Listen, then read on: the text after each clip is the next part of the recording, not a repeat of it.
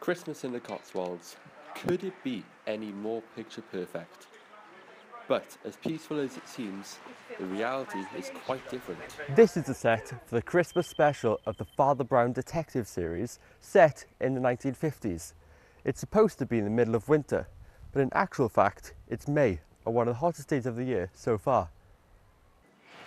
While the trees are in bud and the daisies are out, this church in Blockley has been put back in time, but creating Christmas in the 1950s has been a massive challenge.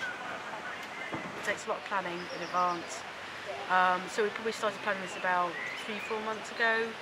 Um, in terms of the actual logistics of how we got here as well, I mean this has been um, set out a couple of days ago um, by snow businesses providing sort of snow.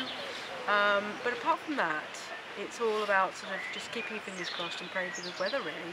Well, uh, I work with the, the company that have manufactured and made this snow 20 years ago, um, which was one of their first gigs, which was um, uh, which is 101 Dalmatians, and technology's moved on a lot. At that time, there was a lot of foam and stuff. Father Brown gets 2 million viewers and is sold worldwide in 50 different countries. This picture of a 1950s Britain captures the Christmas spirit, even if it is a bit too warm for the nativity animals.